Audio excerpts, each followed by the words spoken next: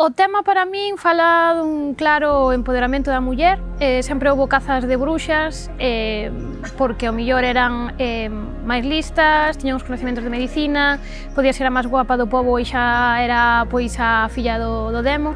E queríamos pois eh, representar na, na música e nas letras pois esa caza de bruxas que, que sigue habendo aínda hoxe en día cando unha muller pois eh, está por encima pois dun home ou de ou das capacidades que, que se di que ten que ter unha muller, pois xa hai pois envidia, xa hai pois prexuizos e entón pois queríamos demostralo en, en este tema dándolle esa forza que, que é tan característica nosa.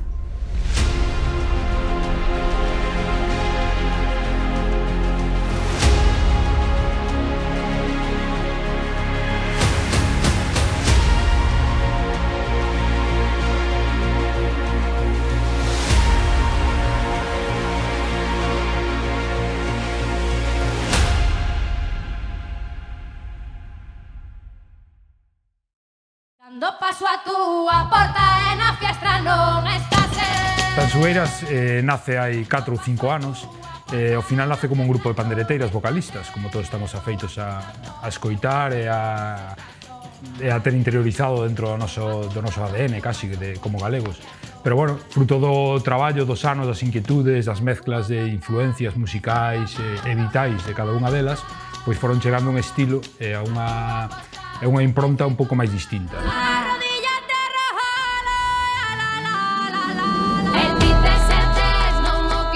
Ahora mismo se está chegando a, un, a, a un, bueno, unha escena musical, un produto, un target de público incluso moito máis heteroxéneo, moi, que rompe racha moito máis as fronteiras, e a idea eh, penso que se pode conseguir é chegar a, a non interpretar a Tansugueiras como algo eh, localista, sino levar o localista a unha escena moito máis internacional. E iso é moi bonito, no? que elas queran potenciar justamente o que son para transportalo a moito máis alá e amosar a súa cultura moito máis longe.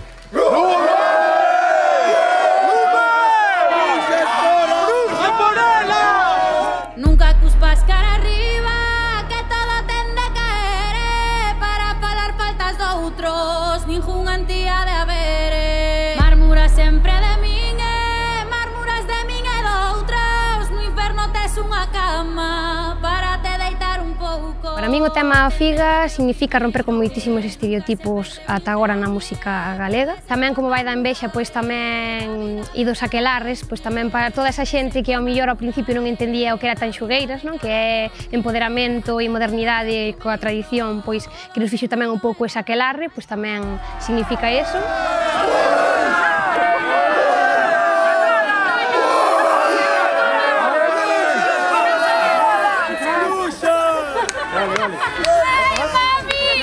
Pois para min figa eh, significa liberación, falar de, de temas tan controvertidos como pode ser a envexa, que todos a sufrimos dun lado ou doutro, e creo que, que ten que ser un tema do que se fale e do que se expoña, pois neste caso, a nosa, a nosa visión.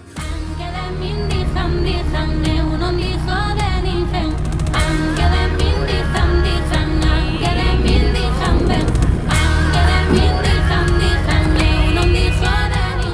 Cuando recibimos la canción de Figa nos pareció un, un reto porque los ritmos de la canción van variando mucho entre, entre las partes cantadas y, y lo que son los estribillos. Los estribillos son muchísimo más bailables, las partes son, tienen un tono mucho más lento.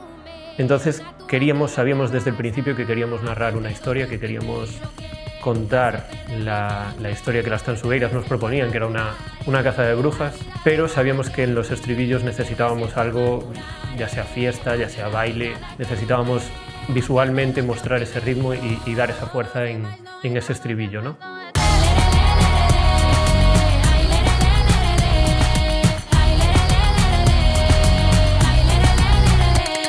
Después de haber hecho el anterior trabajo, Midas, eh, donde teníamos un giro musical bastante fuerte a lo que son ellas, quisimos volver a avanzar todavía más. En cuanto a lo narrativo, eh, presentamos dos líneas, dos líneas bastante bien marcadas. Cuenta una historia de brujas, que es lo que ellas nos quisieron transmitir desde el primer momento. Por otro lado, eh, tenemos la otra línea, que es mucho más metafórica, mucho más simbólica, donde tratamos uno de los temas represent más representativos de ellas, que es el empoderamiento. Estamos de señal y. Claro.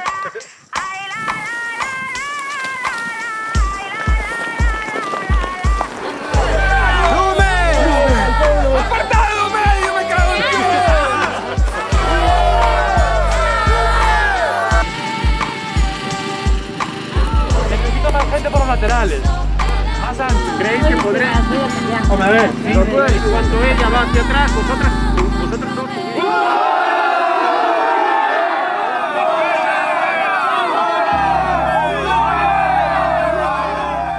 Teníamos claro que para, para una producción de este tipo, para al final mover toda, a toda esta gente, necesitábamos preproducirlo de una forma más detallada y para eso intentamos recrear todos los escenarios y todos los planos en, en 3D. Sabíamos desde un primer momento que, que, queríamos grabar con fuego, ya lo habíamos hecho anteriormente con, con el videoclip de Perfidia y, y, sabíamos que queríamos volver en algún momento a, a, a Tansugueira sin fuego. Para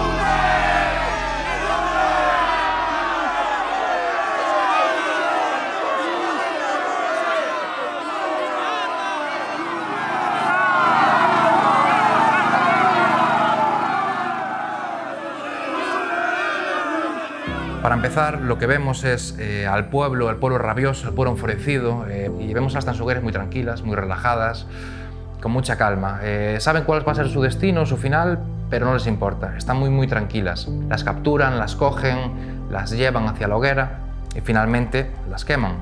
Cruzamos las dos líneas narrativas de este videoclip.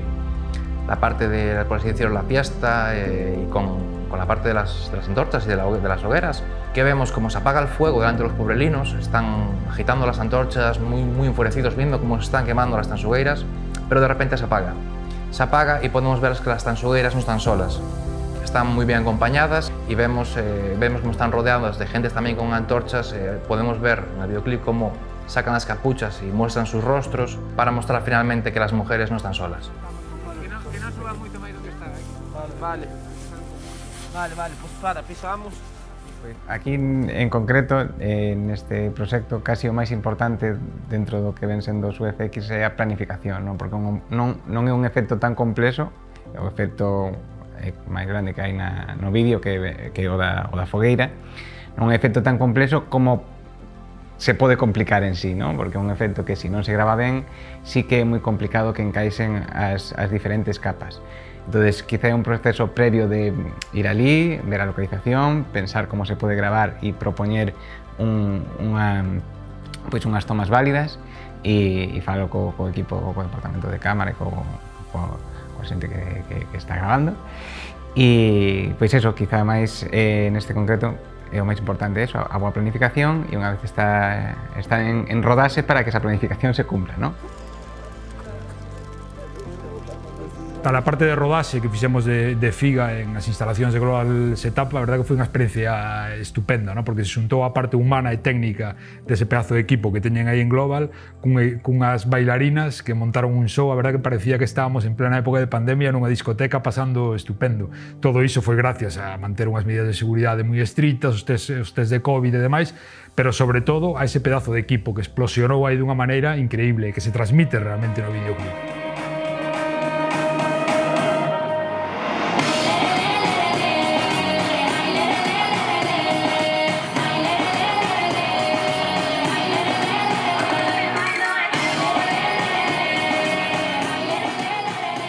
A rodaxe de Figa realmente foi complexo. Enfrentarnos a unha rodaxe nun, nun espacio que non está preparado para iso, nun entorno da natureza, rural, bosque e demais, mezclando esas localizacións complexas, Engadido a que situación actual, unha rodaxe con COVID, eh, tíamos que montar unha enfermería para facer todos os test, tíamos que montar un set de, eh, especial para todos os extras que estiveran separados, tíamos que montar unha caravana no que se pudieran maquillar, preparar e incluso calentar, porque facía un frío que pelaba durante toda a rodaxe. Realmente estamos moi contentos de, de poder superar un reto como ese, facer un rodaxe nesas circunstancias e obter un resultado eh, tan visual e tan atractivo.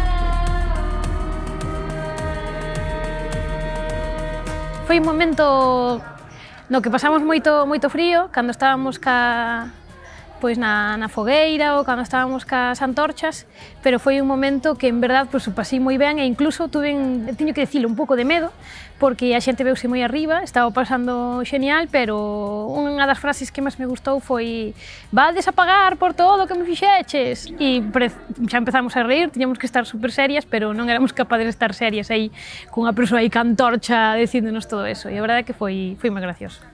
Que viña, ves? Mira, aquí non hai nadie que nos odie, de verdad, non? Que a da calle para sempre. Por favor, os de delante non, eh? Pois o rodaxe foi toda unha experiencia, porque rodar de noite e co lume foi unha cousa que pois que nunca vivíramos, o do lume sí, co, con perfidia, pero tan cerca e con tanta xente pois foi unha experiencia brutal, ademais de que Eu personalmente sentíme como unha desas bruxas as que ataban e toda esa xente estaba como tan metida no papel que, que impoñía, non? E despois, pois bueno, os rodaxes para, para min son aprendizaxes porque a min costa estar diante dunha cámara, entón, pois cada, cada vídeo que facemos é unha aprendizaxe máis.